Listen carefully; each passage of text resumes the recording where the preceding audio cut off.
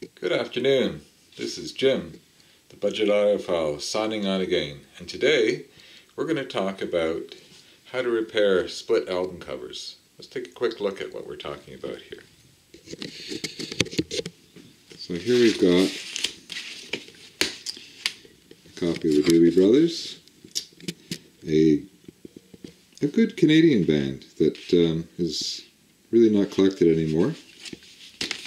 And like so many uh, rock and pop albums, the glue has failed where the cover meets the fold over here. Now, in in some of the recommendations I've seen on YouTube as to how to repair this, it, it involves really terrible idea glue and clamps and stuff like that. Well, I was, uh, let's get this all set up here so that we can show you. I was in one of the better stores in Victoria one day, the turntable, and um, the guys there are always helpful with advice on the music. And one day um, they were spinning some wax for me. And uh, and the first thing he found when he brought out the record was that the album was split. He said, geez, why don't I fix that right now for you? And I'm going to show you what he showed me. And I think this is just a terrific way. So what do you need?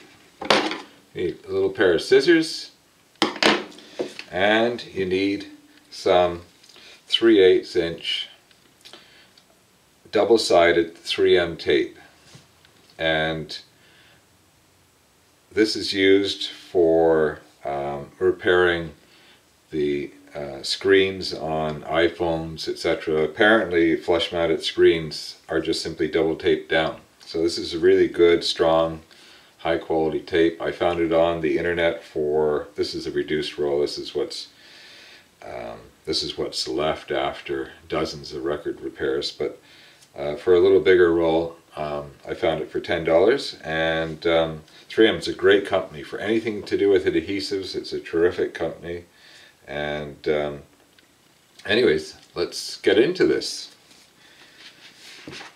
So this album I actually have to go digging because I, I, I always repair my albums. Even the $5 bin albums, I, I'll repair them if I can for people. So this has actually had stopped here where the manufacturer had put a decent amount of glue. And uh, if you can, just get your finger in there and pry it open like I did because you really want to fix the whole album. So just get it open You've already got the record out of course. Get some nice big lead going. Watch the stuff, it's really sticky. You don't have to get it all the way into the end. But what you don't want to do is get it hanging over the edge here. You want that tape to be buried because it's sticky stuff. You don't want it hanging around. So here we go. This is just the best way I've ever seen to repair albums. The only tricky part about this is getting the double side off. So what I like to do is I cut it back just a little bit and I cut it with a little bit of an angle on it, which gives me, get that tape out of the road. Let's bring this up so you can see that a little bit better. So you see I've got a little angle there. So we're going to press this all down Watch your fingers for sharp paper edges. And now I'm going to get in here and I'm just going to work away on that edge where I've got the little finger because it's really easy to pull up the the main sticky side, the other side, and um, and this is this happens a lot with albums that have really crappy cardboard, so you'll find it's really rough. This is quite smooth. In fact, the whole album is really minty. So, off it comes. Now, get your fingers in here so you can create just a small pocket. Before you start tacking it down, just tack it down sort of in the middle. Just tap it down. And now we're just going to apply some pressure along that, that seam. and boom, Bob's your uncle. Look at that. That's fixed, it's dry, it's quick, there's no chance of glue getting anywhere where it shouldn't go. Let's put that on back in. And even though this is in very minty condition, it did have a record split, Uh, a jacket split, it doesn't have any more. And it'll go into the $5 bin and somebody will be really glad to get a nice record all in one piece. Let's take a quick, a quick look at something else. Another album jacket that's damaged. This is an older Columbia Masterworks Bach Glenn Gould doing the Goldberg variations yet again. And this type of album cover actually had the paper did some sort of a wrap. So there's no, when you look inside here, see if we can get the record out of there without destroying it. When you look inside, you can see, if you can see, there's no fold over. So without that fold over, if I was to put double-sided tape in here, I would actually close the album up so much, even at 3 eighths of an inch, that it, it would start to get difficult to get a record to slide into here. So there's a couple of options.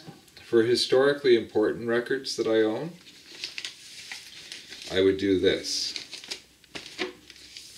Here's my favorite Christmas album. My beautiful wife bought it for me. It's one of the few brand new records that I own. Um, and what what I've done here to protect it is I've thrown it into a sleeve and I've thrown a MoFi sleeve around the record. But with a damaged record that's an important record or one in which you really can't fix the jacket easily or the jacket's so badly damaged you can't use it, you can do this. You've got it inside an outer sleeve. Throw the record into your favorite MoFi sleeve, whatever sleeve turns your crank. I like the MoFis. They're a little more expensive than everything else, but I don't want to ever have to buy these things again. In it goes. It's the wrong record, but you get the point. Now we haven't done anything to the jacket at all. We can see the front, we can enjoy it, we don't need to stress over the fact that it's cracked. We want to play the record. This is a shout out to 33 and a third RPM, or is it 33 RPM? Anyways, he's a he's a great guy. He's based in Manitoba, and he taught me this trick on one of his YouTubes. So this is how he stores his records. This is how he plays them. Out it comes, back in it goes. So that's a solution for that. You could always come along if you really don't like to do that with your records.